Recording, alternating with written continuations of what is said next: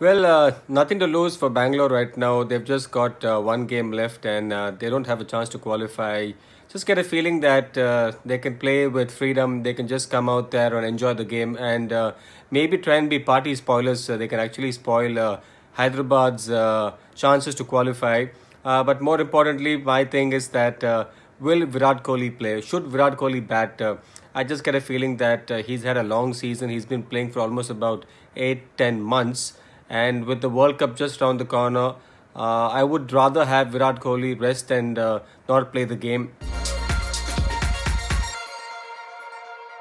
Hyderabad uh, aren't uh, playing the way they normally would like to play. They are missing the services of Jonny Bairstow. They are missing the services of uh, David Warner.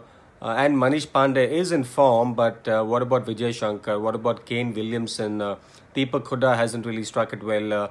But I get a feeling that uh, Hyderabad can make a change. They can actually bring in a Yusuf Pathan. The reason I say this is this is a small ground. The Chinnaswamy Stadium is a very, very small ground. And if someone like Yusuf Pathan can really get stuck into the bowling, uh, he could really get off to a very, very quick start, which could actually give some momentum to the Hyderabad side. It's the crunch time, it's the important time of the, the league phase. Can Hyderabad step up and win these two games? If they do that, they do have a chance to qualify. They could be possibly uh, qualifying at number four.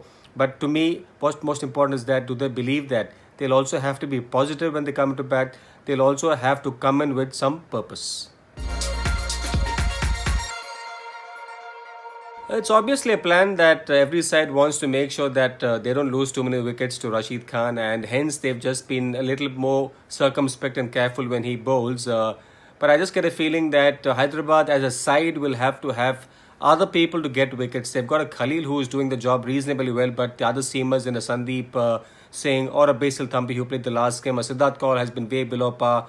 Bhuvneshwar Kumar also has been a disappointment. So I wouldn't say that Rashid Khan has been bowl, uh, has bowl, has been bowling badly, but it's just a question that every side knows that he is the main bowler, he is the wicket taker, and hence they're pretty happy to just play 4 overs 25, 4 overs 20, see him off, and then target the rest.